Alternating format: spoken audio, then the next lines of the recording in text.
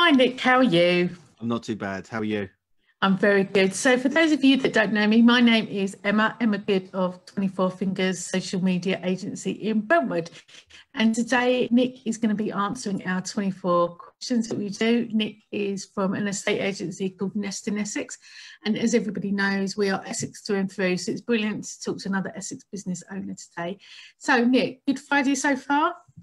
Yeah, it's uh, it's been okay. It's been interesting. There's lots of uh, sort of touching base with clients and reassuring at the moment. So um, yeah, it's, it's certainly interesting, but it's been a good day.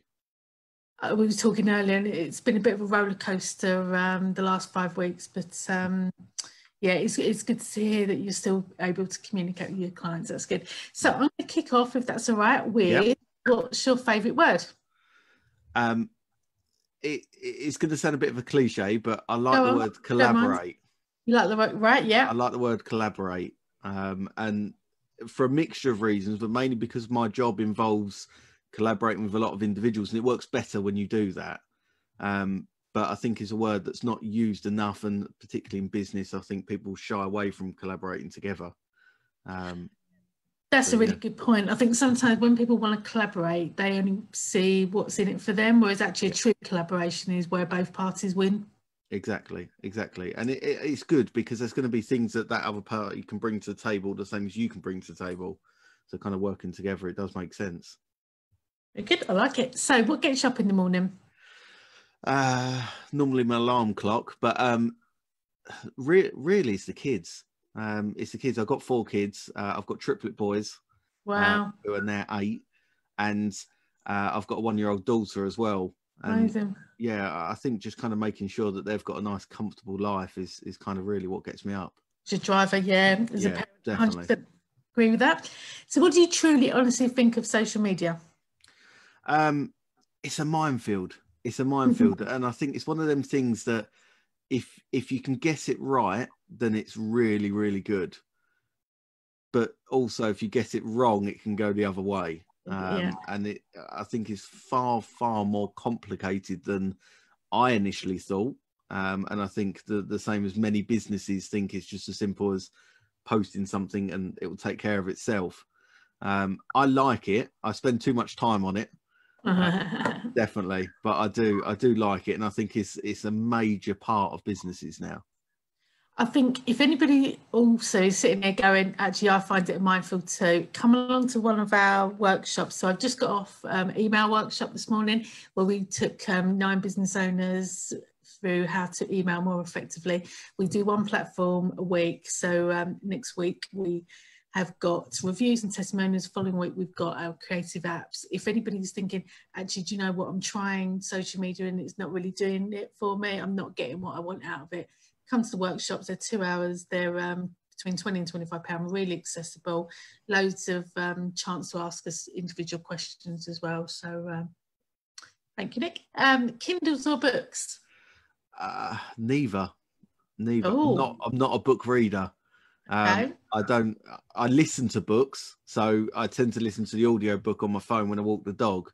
Yeah, so, uh, I think I'd have to. Yeah, I'd have to take my own. You've got a third, third option. Okay, so um, you're in um, property and real estate. Um, yeah. What do you think is the biggest challenge to your industry right now?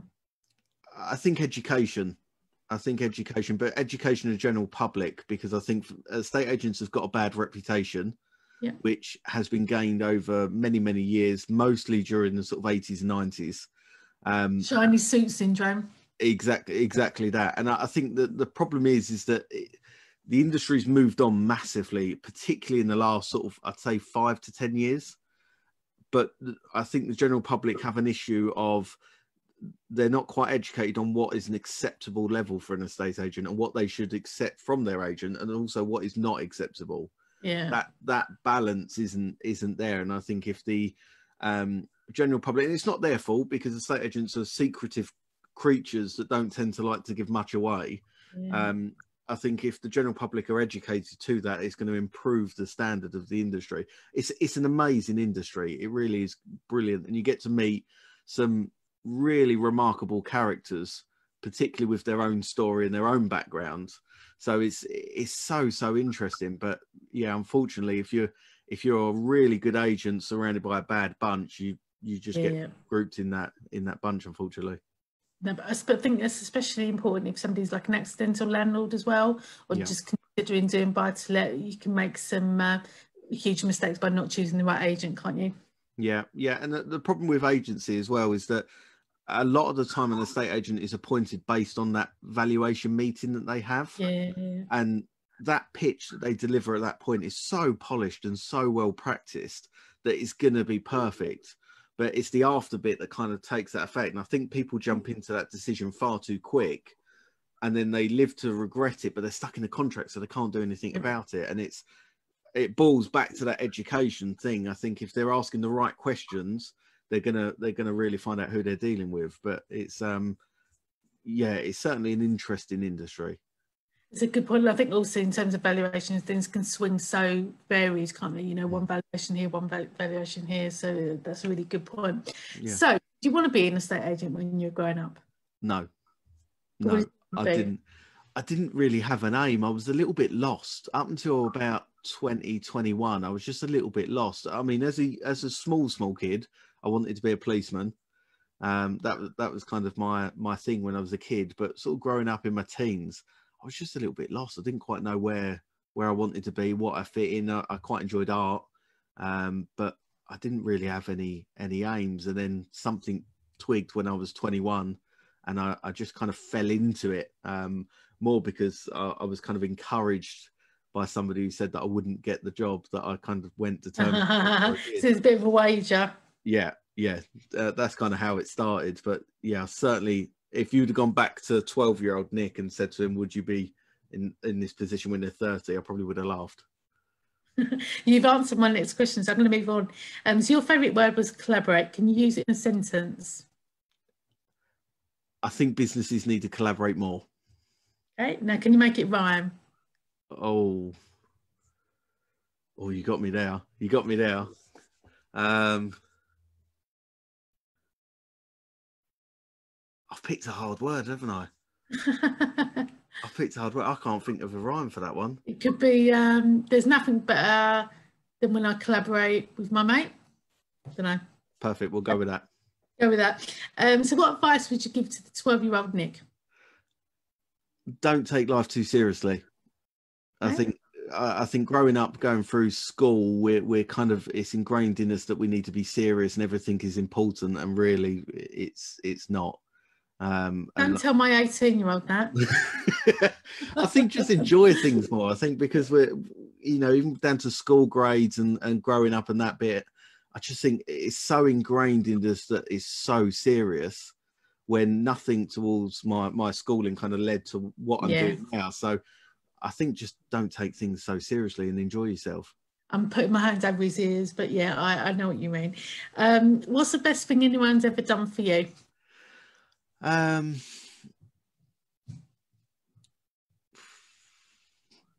I think it was a uh, a gentleman. I won't mention his name, but before I started my business, I was in a pretty bad position, and my luck was down a little bit. And he kind of pulled me aside and had a chat, and it it was a chat that wasn't expected, and it we it's not that we I mean, we worked together, we got on fine, but it, it was a chat that I do think changed the entire course where my life went from that point. Yeah, And, I- amazing. And it was one of them chats that he he he could have not said anything. Yeah, he and did we- need to. Yeah, and because he pulled me aside and, and he felt so strongly like he had to say it, um, that that transformed a lot. Amazing. I, I can uh, I can uh, relate to that. Um, tell me, what's been your career defining moment? You might not have had it so yet, might be to come. I think um, it, it's a transformation of my business because my business has been two different things. So when I first started, we we went on the low cost uh, kind of agency model, and then about two years ago, that transformed, and we went we changed what we was doing and how we were doing it, and become one of the most expensive locally. Um, and when I started getting feedback from that particular type of service, and when um, naturally fees start coming in, there was a bit of a moment where it kind of felt right, and then out Yeah. of nowhere we won five awards. Um, in the space of three months. So I would I would say that kind of period of time. Yeah, that that thank you. That it was that sort of period of time that I think yeah was was my career defining moment. Love that. Very inspiring. So, if you want a award of some kind, who would you thank? Um, it's it's going to say cliche. This is going to sound really cliche and corny, but Do I'd it, say do it. my granddad. Oh, granddad. lovely. Um, he, he was a big uh, he was a big character growing up, and he, he's someone that I've always uh, had a lot of respect for. And unfortunately, passed away when I was quite young. Uh, well, in my in my mid teens, but um, it, it's someone that I've kind of always felt is is going to be proud of everything I'm doing. Love that. Love that. So, can you give us a time saver of the day? Is there anything that you do that you can share? Shape- Um, A few minutes. I think automation. I think putting automation into your business, um, and whether it be things like email, uh, certain advertisement platforms, ways of dealing with inquiries, just that automation can save so much time, Yeah. and that time uh, can be used elsewhere, uh, and most importantly, family time. Sort of having having some evenings back and uh, having that time back. So yeah, I think automation is is definitely the best thing. You're 100% right. So we had, um, like I said, we had the email workshop this morning. We were talking about email automation, the difference it's made in in our business. And yeah, 100% agree that if you can automate it, do it. Yeah. Um, but then I've only got one child, you've got four, so you definitely um, Where do you see the property industry in 24 months? I there's a big change going on at the moment, particularly the way uh, the portals have got a bit of a, a dominance. So with things Yeah. like Rightmove, they've they've got quite a dominance on the industry. Um, I foresee agencies going. I don't, and, and what I mean by that is, I mean estate agencies as a company, they're going to become less important. I think the individuals that work in them are going to become more important. So when you look at some external in, uh, external property uh, industries like the Australian model and the American model, it's a lot on the um, the real estate agents as individuals. It's more about individual relationships, isn't it? Exactly, exactly, and they work under a umbrella of some form, and I, I think the UK is going to start adopting that model, and we're going to see um, uh, estate agents um, reviewed and audited individually. Yeah, yeah. People know, yeah, okay, they're dealing with, for argument's sake, Nest in Essex, but it's Nick they're dealing with from there. Yeah, yeah, yeah. Um, and I think that's going to be where this industry is going over the next sort of couple of years. I think that would probably lend itself to being more of a sourcing agent as well than purely going to shop window. Yeah, there, there's. I think with with the um, with the lines of Rightmove, Zoopla, Prime Location, there's a few others as well, and there's a new one being launched this month.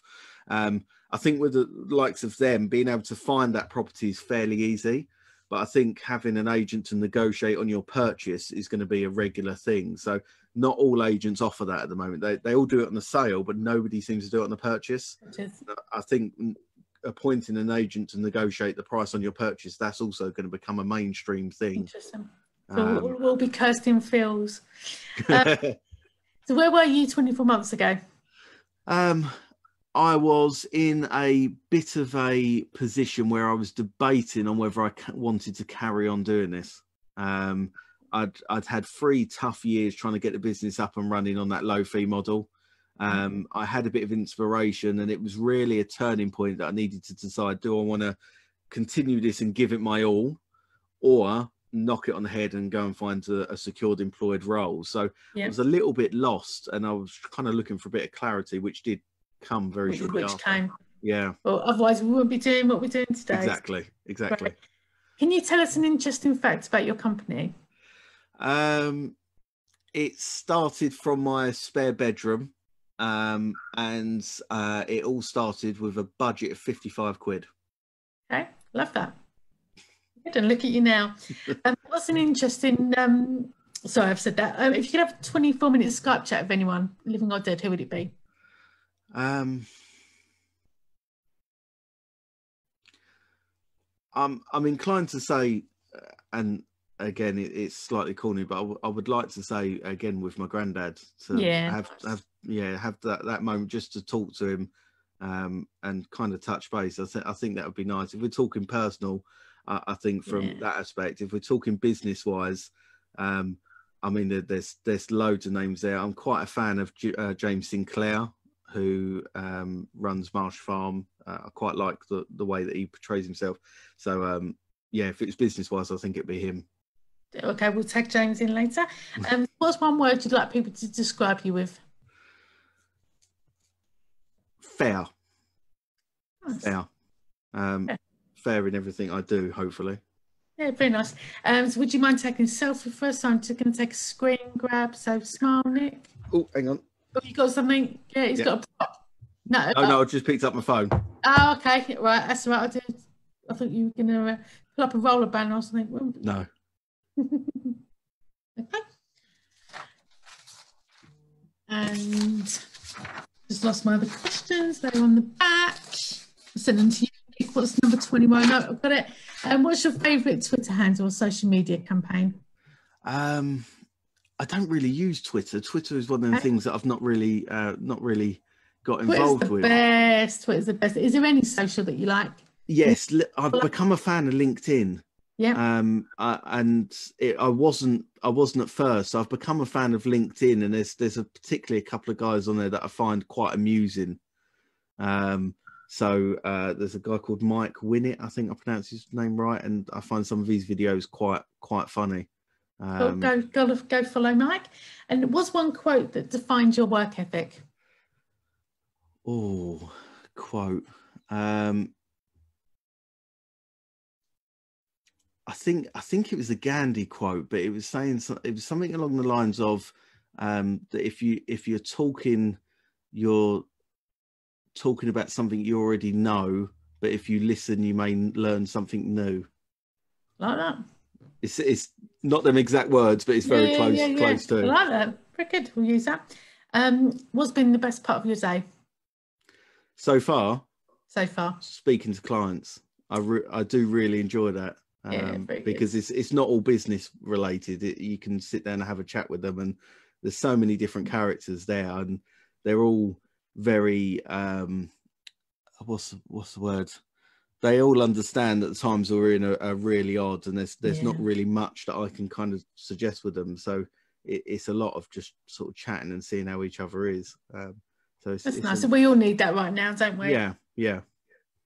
And finally, anything to plug? Um, I think, uh, well, of course, my estate agency to start with, uh, which is Nest in Essex. That's but, allowed. Yeah. um, I've also just recently started my own podcast, uh, which is called A Different Way, uh, which is discussing uh, business and tips that small business owners. I'm kind of aiming at one man band or small startups. Uh, lots of tips that they can start implementing in their business today uh, to help them out. Brilliant. Cool. So how big, how can people find you? Um, so you can uh, just search me on LinkedIn or Facebook. Just search Nick Cheshire. Um, I'll I'll be on there. It's pretty easy to find. Or head over to our website, which is uh, www.nestinessex.co.uk. Brilliant. Thank you very much, Nick. Thank you very much for your time. And uh, as always, take care, stay safe, and have a nice weekend. You too. Thanks for having me. Take care. Bye.